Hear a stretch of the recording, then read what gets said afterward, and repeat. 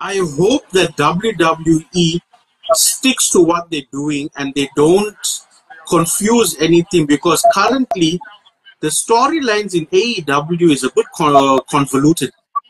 Some storyline convoluted. Others, I can connect the wires, like they make sense why this is happening. But some are a bit like overlaid. I, um, I mean, like we don't know what's happening in AEW. Then you get Jon Moxley coming in and telling Tony Schiavone that it's not his uh, wrestling company anymore. This is not your company anymore. Is that a sign to say that Shane McMahon is, is coming?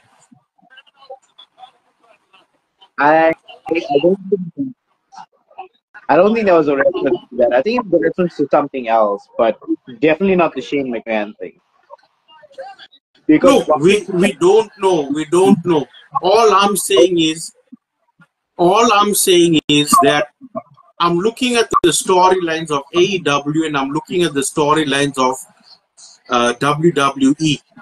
And uh, irrespective of what people may say, I think Triple H is doing a damn good uh, job with creative, and he shouldn't uh, he shouldn't try and overdo anything.